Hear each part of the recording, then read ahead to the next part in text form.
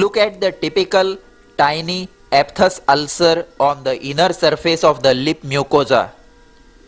Just as over the tongue, aphthous ulcers are common over the buccal mucosa. They are treated with high doses of vitamin B complex, local glycerin borax or xylocaine ointment, and if they are recurrent or multiple, a course of flagyl and antifungal nystatin lotion. Here we see a case of acute tonsillitis with inflammation of the tonsils and pus is seen through the tonsillar crypts. Acute tonsillitis is treated with steam inhalations, salt water gargles, an antibiotic and aspirin or any anti-inflammatory drug. Once the acute attack subsides, tonsillectomy may be advised if the attacks are severe or recurrent. Acute follicular tonsillitis. A white patch or slough on the tonsils or pharynx should make you alert about diphtheria, which luckily is quite uncommon today due to immunization programs.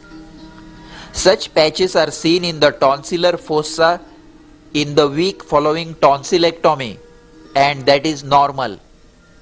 But when diphtheria is suspected, refer the patient to a hospital for throat swab study and treatment.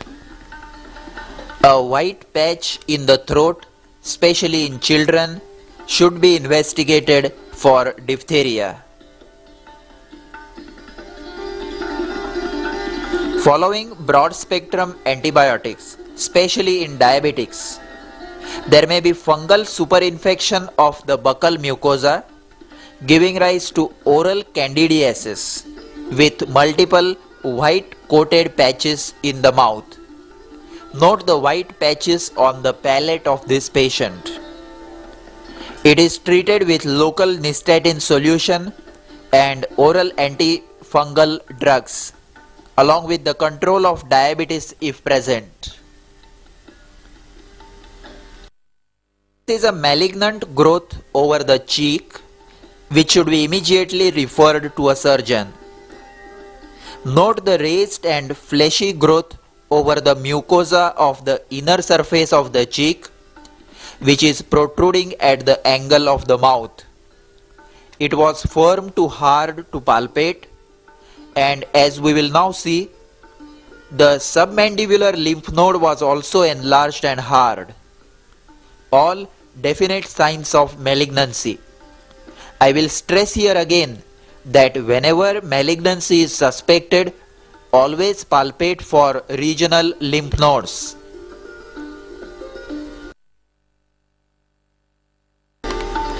This is a mucus cyst, a simple cyst on the inner aspect of the lip which is harmless, but it ruptures and recurs and it has to be excised.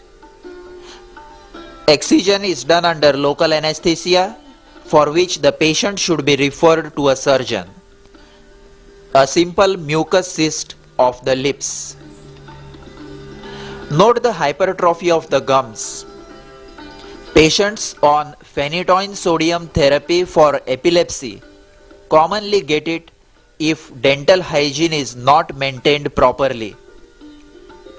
If the hypertrophy is excessive, the hypertrophied portion is excised by gingivectomy. The best way to prevent it is by maintaining proper dental hygiene. So you must give these instructions to your epileptic patients who are put on phenytoin therapy. Here is another epileptic patient on phenytoin sodium therapy with mild hypertrophy of the gums and poor dental hygiene.